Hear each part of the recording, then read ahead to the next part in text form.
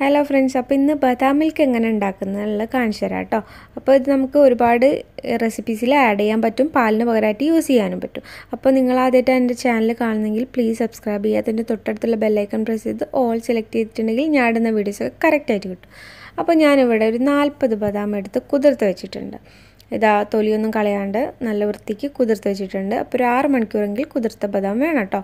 അപ്പോൾ ഇതാ ബദാം കുതിർന്ന് കഴിഞ്ഞിട്ടുണ്ടെങ്കിൽ നമുക്കിങ്ങനെ തൊലി കളയാം. തൊലി കളയാണ്ട് വേണമെങ്കിലും അടിക്കാം. പക്ഷെ നമ്മൾ ആ ക്ലിയർ വൈറ്റ് കളറ് കിട്ടണം പാലിന്റെ അതേ കളർ കിട്ടണമെന്നുണ്ടെങ്കിൽ നമുക്ക് തൊലി കളയണം കേട്ടോ. ശരിക്കും തൊലിയിലാണ് കുറേ ഗുണങ്ങളൊക്കെ ഉള്ളത്. അപ്പോൾ ഇതാ ഞാനെല്ലാം കളഞ്ഞു വെച്ചിട്ടുണ്ട്. ഇനി നമുക്കിതൊരു മിക്സിയുടെ ജാറിലേക്ക് ഇട്ടിട്ട് നന്നായിട്ട് അടിച്ചെടുക്കണം. ഞാനിതാ നാൽപ്പത് ബദാമിന് ഞാനൊരു രണ്ട് ഗ്ലാസ് വെള്ളമാണ് ഞാൻ എടുക്കുന്നത് ഒരു ഇരുന്നൂറ്റമ്പത് എം എല്ലിന്റെ. അപ്പോൾ നിങ്ങൾക്ക് വേണമെങ്കിൽ വെള്ളം കൂട്ടുകയും കുറയ്ക്കുകയൊക്കെ ചെയ്യാം.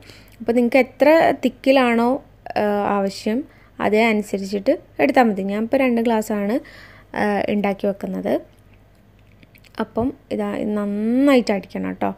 കാരണം ഇതിൽ കട്ട കട്ട ഉണ്ടാവും. അപ്പോൾ അതൊക്കെ ഒഴിവാക്കിയിട്ട് നന്നായിട്ടൊന്ന് അടിച്ചെടുക്കണം. അപ്പം ഇതിന്റെ ഗുണങ്ങൾ ഒരുപാട് ഗുണങ്ങളുള്ള നമുക്ക് പാലിന് പാലിന് യൂസ് ചെയ്യാൻ പറ്റാത്ത ആൾക്കാരാണെങ്കിൽ നമുക്ക് ബദാം മിൽക്ക് ഉണ്ടാക്കിയിട്ട് യൂസ് ചെയ്യാം. നമുക്ക് ചായ ഉണ്ടാക്കാം. അങ്ങനെ നമ്മൾ ഉണ്ടാക്കുന്ന ഒരുവിധം റെസിപ്പീസിലൊക്കെ ഇൻക്ലൂഡ് ചെയ്യാൻ പറ്റുന്ന ഒരു സംഭവമാണ് ബദാം മിൽക്ക്. അപ്പം എല്ലാവരും ഉണ്ടാക്കി നോക്കാം കേട്ടോ അപ്പോൾ ഇതാ ഞാൻ മൊത്തത്തിൽ അടിച്ചു വെച്ചിട്ടുണ്ട്. ഇനി നമുക്കൊന്നിത് അരിച്ചെടുക്കണം.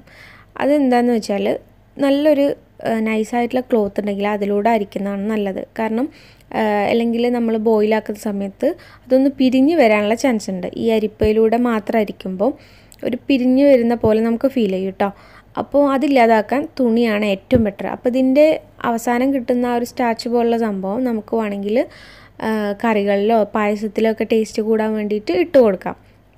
അപ്പോൾ അത് കളയാൻ ഇഷ്ടമില്ലാത്ത ആൾക്കാരാണെങ്കിൽ അങ്ങനെ യൂസ് ചെയ്യാം കേട്ടോ അപ്പോൾ ഇത് ഞാനിതാ അടിച്ചു വെച്ചിട്ടുണ്ട്. ഇനി ഇത് ഞാൻ ഒരാഴ്ച ഒരാഴ്ച വരെ ഞാൻ ഫ്രിഡ്ജിൽ വെച്ചിട്ട് നല്ല നല്ല തണുപ്പുള്ള ഫ്രീസറിലല്ല ഫ്രിഡ്ജിൽ വെച്ചിട്ട് ഞാൻ യൂസ് ചെയ്തിട്ടുണ്ട്. ഒരു കുഴപ്പം വന്നിട്ടില്ല കേട്ടോ അപ്പോൾ എല്ലാവരും ട്രൈ ചെയ്ത് നോക്കാം. ഇതിന്റെ റെസിപ്പീസ് ഞാൻ പിന്നാലെ അപ്ലോഡ് ചെയ്യാം. അപ്പം ബൈ